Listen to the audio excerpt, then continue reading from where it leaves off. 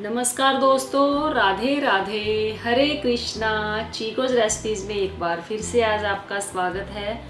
तो आज जो आपको वीडियो मिलेगी, ये होगी चंद्र ग्रहण पर, क्योंकि आप सभी के कमेंट्स भी आ रहे थे कि मैम पाँच तारीख को चंद्र ग्रहण है। उस पर ठाकुर जी की सेवा कैसे करनी है, सूतक काल का क्या होगा, और जब चंद्र ग्रहण लगेगा, हमें क्या करना चाहिए, क्या नहीं करना चाहिए।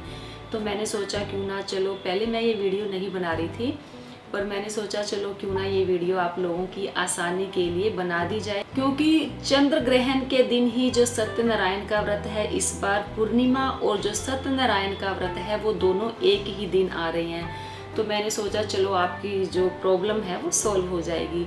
तो चलिए बताती हूँ कि जो पाँच जून को चंद्र ग्रहण है, उस पर आपको ठाकुर जी की सेवा कैसे करनी है, पूजा कैसे करनी है, और जो ग्रहण के दौरान जो दान वान दिया जाता है, वो करना भी है या नहीं करना तो चलिए शुरू करते हैं।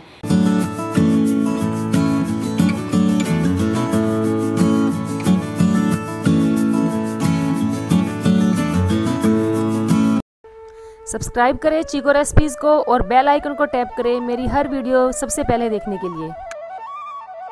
तो चलिए बात करते हैं चंद्र ग्रहण की। तो जो भी ग्रहण होते हैं चंद्र ग्रहण होता है या सूर्य ग्रहण होता है तो अगर वैज्ञानिकों की दृष्टि से देखा जाए तो सूर्य ग्रहण हो या चंद्र ग्रहण ये एक खगोलीय घटना है। तो उनकी दृष्टि से तो जब सूर्य और चंद्रमा के बीच पृथ्वी आ जाती है तो चंद्र ग्रहण हो गया। और जब सूर्य और पृथ्वी के बीच चंद्रमा आ गया तो ये हो गया सूर्य ग्रहण लेकिन अगर ज्योतिष की दृष्टि से देखा जाए या धार्मिक दृष्टि से देखा जाए तो इसके बहुत मायने हैं, ये बहुत महत्व रखते हैं। क्योंकि ये हमारी राशियों पर भी बहुत प्रभाव डालते हैं और ये जो हमारे ज्योतिष हैं, वो ग्रहण के ज़रिए ही गणना करके वो ये बता देते हैं कि इस ग्रहण का किन किन राशियों पर क्या असर होगा या हमारे देश पर क्या असर होगा, जलवायु पर क्या असर होगा या पर्यावरण पर इन ग्रहण का क्या क्या असर होगा। क्योंकि हम बचपन से सुनते ही आए हैं कि ये जो राशियाँ हैं, ये ग्रहण इन इन राशियों के लिए ये ग्रहण फ़ायदेमंद है, या हमारे देश के लिए ये जो ग्रहण है, ये अच्छे के लिए आया है, ये बुरे के लिए आया है तो ये हम सुनते ही आए हैं। तो जो पाँच जून को जो ग्रहण पड़ रहा है, ये एक उपछाया ग्रहण है। तो इसका कोई मान्य नहीं होता है। कहते हैं कि जो उपछाया ग्रहण होता है, इसका कोई सूतक काल भी नहीं लगता। तो सबसे पहले तो आपको टेंशन लेने की ज़रूरत नहीं है कि इस ग्रहण में आपको क्या क्या सावधानियाँ बरतनी है और क्या क्या सावधानियाँ नहीं बरतनी। और उपछाया चंद्र ग्रहण होने के कारण जो चंद्रमा है, उसके आकार में भी किसी तरह का कोई भी बदलाव देखने को नहीं मिलता। इसमें रात को चंद्रमा की एक धुंधली सी आपको तस्वीर नज़र आएगी, जो अभी आप जो चंद्र ग्रहण देखेंगे तो उसमें देखेंगे कि जो चंद्रमा है, वो एक धुंधला सा नज़र आया है। तो जो छाया चंद्र ग्रहण है, वो बहुत ज़्यादा प्रभावशाली भी नहीं माना जाता है, यानी कि ये प्रभावशाली है ही नहीं। इसे आप एशिया, यूरोप, ऑस्ट्रेलिया, अफ्रीका में भी लोग इसको देख पाएँगे। आप इसे नंगी आँखों से भी देख सकते हैं। पूरे ग्रहण के दौरान चाँद आपको कहीं से भी कटा हुआ नहीं दिखेगा, इसलिए आप इस अनोखे चंद्र ग्रहण को नंगी आँखों से देखेंगे तो आपका जो अनुभव होगा, वो बहुत ही अच्छा होगा। जो चंद्र ग्रहण है, वो पाँच और छः जून की आधी रात में लगेगा। इसकी जो कुल अवधि होगी, तीन घंटे अठारह मिनट की होगी। ये पाँच तारीख की रात को ग्यारह बजकर सोलह मिनट से लेकर बारह बजकर पचपन मिनट तक होगा और 6 तारीख को रात के दो बजकर चौंतीस मिनट कर इसका समापन हो जाएगा।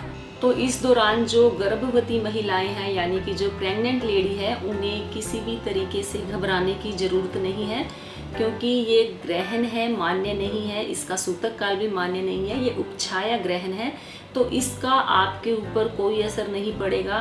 तो कईयों को टेंशन हो रही थी कि मैम, कैसे करेंगे रात को, क्या खाएँ, क्या ना खाएँ, क्या पिए, क्या ना पिए?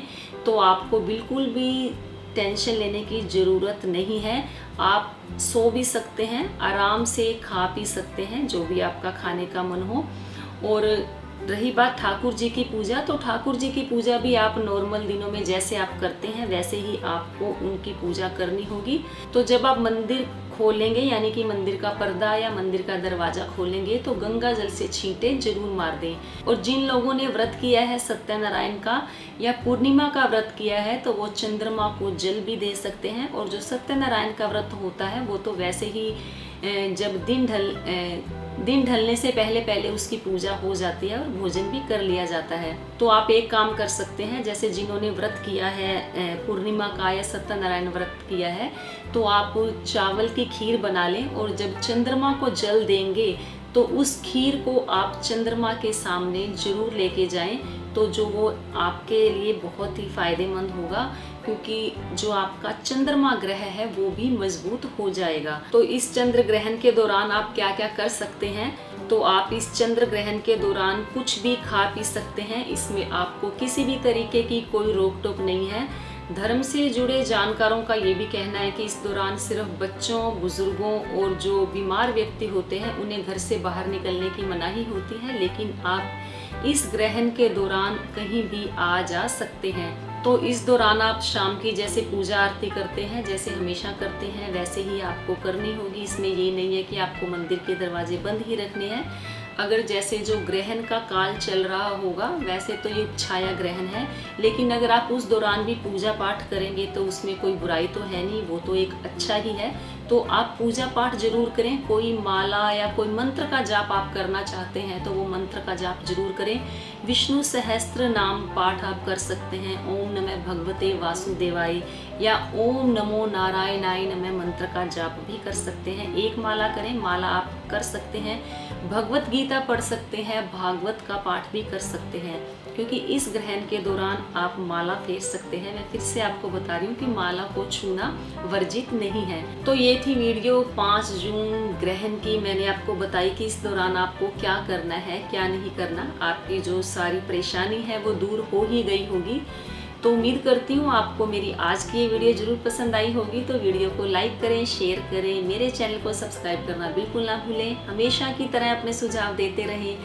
आज के लिए इतना ही। फिर मिलते हैं। धन्यवाद। हरे कृष्णा।